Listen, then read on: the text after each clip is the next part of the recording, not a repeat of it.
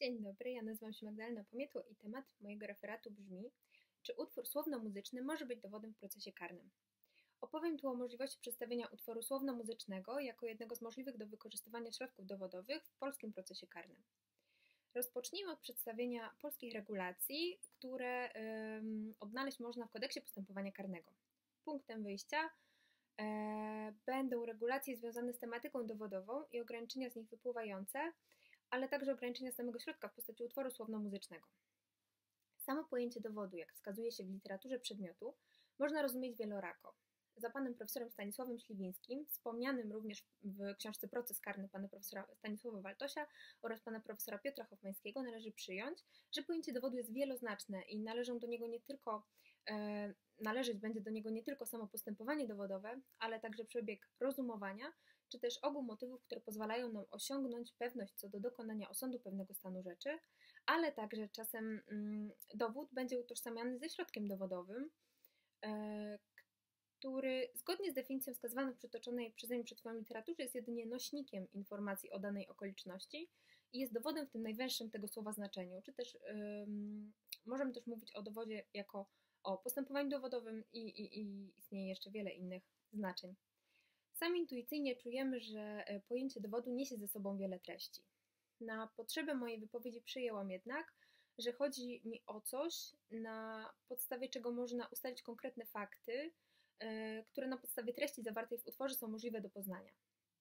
O taką pewną rzeczywistość dotyczącą przestępstwa, którą najpierw organy postępowania przygotowawczego, a później sąd starają się odtworzyć, czyli tak naprawdę o stan faktyczny, który później stanie się podstawą wyrokowania.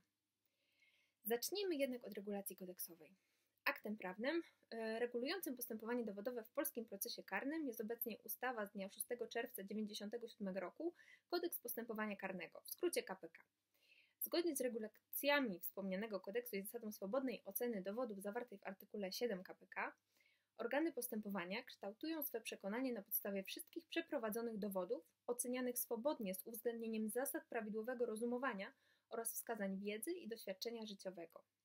Jak wskazuje się w komentarzu do przedmiotowego przepisu, pod redakcją pana profesora Świeckiego, e, z treści, można, z treści tego artykułu 7, który przytoczyłam przed chwilą, można wyprowadzić dwie normy dotyczącą przedmiotu oceny e, oraz sposobu tej oceny. Jak zostało tam wskazane, przedmiotem oceny powinny być wszystkie przeprowadzone dowody, a sposób oceny tych dowodów polega na dokonaniu jej z uwzględnieniem zasad prawidłowego rozumowania oraz wskazań wiedzy i doświadczenia życiowego. I dalej, nie ma podstaw dla wartościowania mocy dowodowej różnych źródeł. Kodeks ich nie hierarchizuje. Każdy z dowodów podlega jednak ocenie, biorąc pod uwagę te regulacje z artykułu 7 KPK.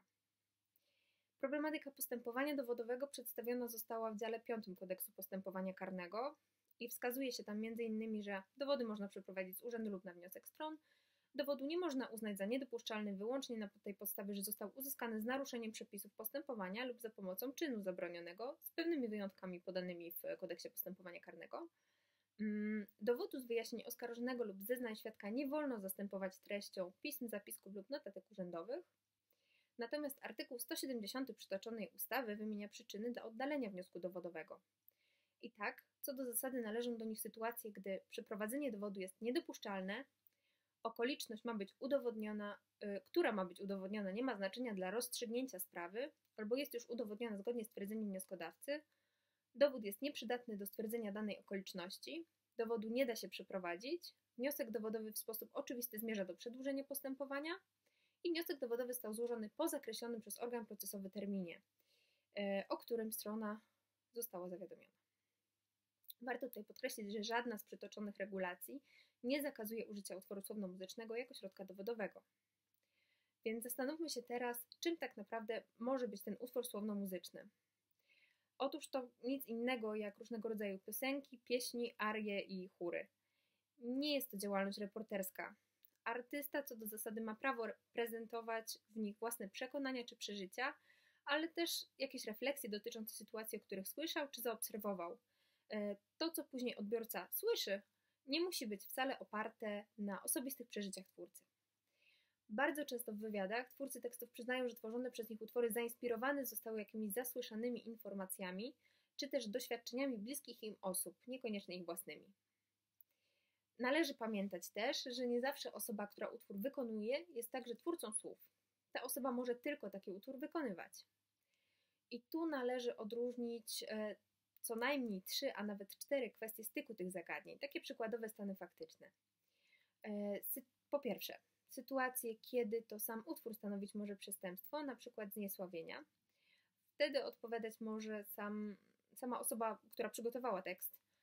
By jednak mógł on ponieść odpowiedzialność karną, trzeba będzie udowodnić, że tekst ujrzał światło dzienne. Po drugie, sytuacje, kiedy osoba wykonuje dany utwór, będzie to autorskie wykonanie utworu i wtedy dowodem ewentualnie mogło być nagranie, że środkiem dowodowym właściwie mogło być nagranie, że dana osoba go naprawdę wykonała. Mm, sytuacje, gdy słowa utworu słowno-muzycznego dokumentować mogą popełnienie przestępstwa. Ktoś wskazuje tam jakieś istotne okoliczności dla popełnienia yy, czynu zabronionego, czy ustalenie na podstawie piosenki pewnych innych okoliczności, jak na przykład strony podmiotowej, czyli umyślności lub nieumyślności. Przejdę teraz do omówienia pewnego stanu faktycznego, który pozwoli na wykazanie kilku problemów związanych z utworem słowno-muzycznym jako dowodem w procesie karnym. To zmodyfikowany stan faktyczny, który przygotowałam w oparciu o sprawę szczegółowo opisywaną w mediach. Zaznaczam tutaj, że nie miałam dostępu do akt postępowania. Stan faktyczny został odtworzony na podstawie doniesień medialnych i delikatnie zmodyfikowany tak, żeby wykazać problemy, jakie wystąpić mogą w związku ze stosowaniem utworu słowno-muzycznego jako dowodu w procesie. Y, pan, który był oskarżonym, był oskarżony w sprawie o przestępstwa różnego typu. Całe oskarżenie jednak opierało się na zeznaniach małych świadków koronnych. To taka instytucja prawa karnego, która pozwala na uzyskanie korzystnego orzeczenia dla siebie w zamian za pomoc organom ścigania co do innych kwestii dotyczących popełnienia przestępstwa. Cała instytucja została opisana w artykule 60 kodeksu karnego. Co ważne, zeznania świadków nie były do końca spójne. Były bardzo ogólne, pojawiały się dopiero na pewnym etapie postępowania toczącego się względem również nich samych. Pan, o którym mówimy, który yy, był już później oskarżony, nie był jedynym oskarżonym. Wszyscy jednak oskarżeni zaprzeczali, jakoby znali tego świadka, małego świadka koronnego, który obciążył ich swoimi zeznaniami i zaprzeczali popełnieniu przez nich przestępstwa. Nie było żadnych innych dowodów co do potwierdzenia ich znajomości. Aż do momentu, kiedy w postępowaniu pojawił się pewien utwór, dokładniej utwór słowno-muzyczny. Oskarżony, e, o którym mówimy, był autorem słów i wykonawcą tego utworu. Sam tytuł utworu wskazywał już na odwołanie do konkretnego przepisu części ogólnej kodeksu karnego, gdzie występuje instytucja małego świadka koronnego, o którym przed chwilą wspomniałam. W tekście piosenki wspominano m.in. o wydaniu swoich kolegów organom ścigania. Niewybrednie nazwano zachowanie świadka polegające na zdradzeniu szczegółów akcji przestępczej. E, nazwa, następnie wskazano na przykre konsekwencje, jakie spotkać mogą świadka, który tego zachowania się dopuszcza. Oskarżyciel publiczny, czyli prokurator, wskazał, że słowa przytoczonego przeze mnie przed momentem utworu są wyrazem atakowania świadków i dostatecznie wskazują na znajomość oskarżonego ze wspomnianym świadkiem, małym świadkiem koronnym. Obrońca oskarżonych w odpowiedzi podniósł, że sam tekst piosenki i pomówienia innych nie mogą być wystarczającymi dowodami na skazanie oskarżonego, a utwór nie potwierdza znajomości oskarżonego i świadka.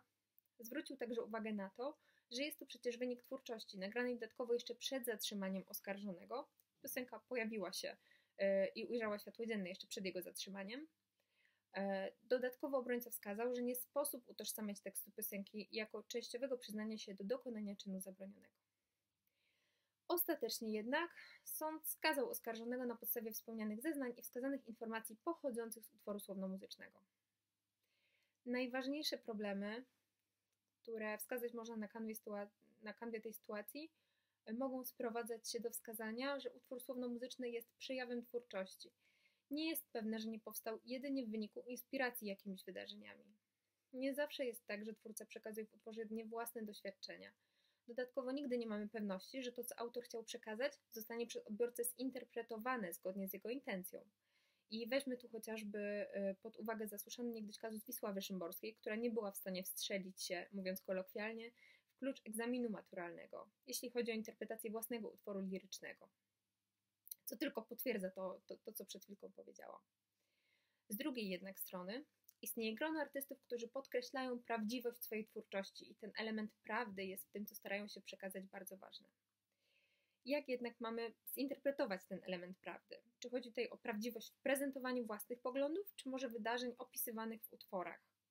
No i wydaje się, że chyba chodzi tutaj o tę prawdę w wyrażaniu poglądów. Można ją wyrażać przecież, posługując się wieloma figurami, czy też różnego rodzaju zabawą słowem w prezentowanym tekście. Dlatego też, pomimo braku proceduralnych przeciwwskazań co do potraktowania utworu słowno-muzycznego jako dowód, należy wziąć pod uwagę pewne wątpliwości, które starałam się tutaj wykazać.